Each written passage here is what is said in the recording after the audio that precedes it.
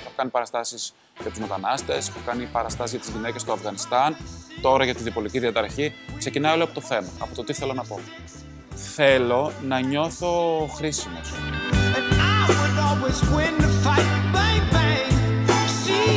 Η ζωή δεν χρωστάει σε μένα κάτι περισσότερο από σένα ή από κάποιον άλλον. Είμαστε όλοι εδώ, έχει τις ευκαιρίες και από εκεί και πέρα πρέπει να τρέξουμε μόνοι μας. Δεν θεωρώ δηλαδή εγώ ότι είμαι κάτι καλύτερο από σένα για να μου χρωστάει εμένα η ζωή κάτι παραπάνω.